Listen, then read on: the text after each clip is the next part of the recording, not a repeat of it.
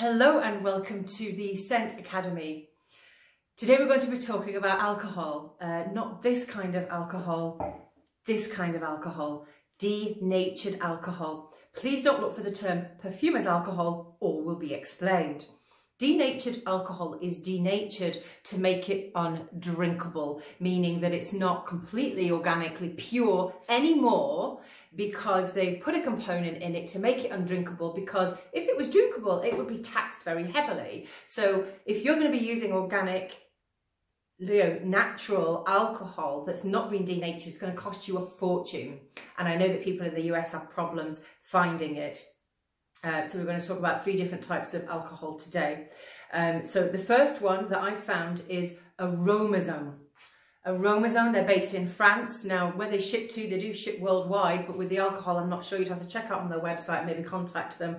But they're just called Aroma-Zone, and they do this um, organic so the components that are they use to denature it are organic and completely safe. Um, there's a perfumer's alcohol in the UK that you shouldn't be using. Um, and if you ever want to go and find out um, whether a denatured, denatured alcohol is suitable or not, then you need to ask them what they denature it with. So what component do they use? So there's a company in Canada, for instance, I'll leave the link below, and they ship to Canada and the US um, and it's denatured and they use a component called Bitrex in it to denature it. So therefore it's affordable but undrinkable but perfectly suitable for perfumery and it's completely safe for your skin as acknowledged by my Alan the chemist. I have a friend called Alan, he's a chemist, and I asked him just to double check before I did this video that this alcohol is actually safe for the skin, and it is.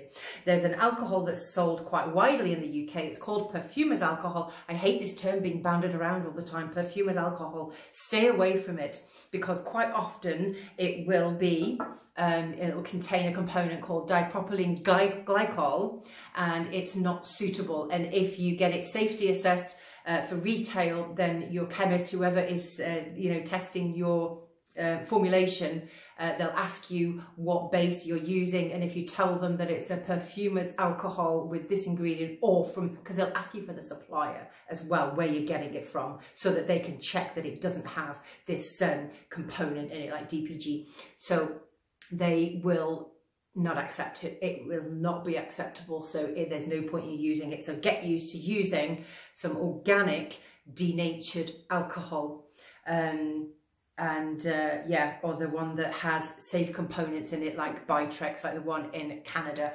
Uh, you need to look for trade specific denatured alcohol TSDA1 in the UK, there's a company, and I'm going to give you the link, and I'm so generous. I'm going to give you the link of where you can buy trade specific um, denatured alcohol one that's absolutely suitable for retail so you can use it for your perfumes if you're selling them.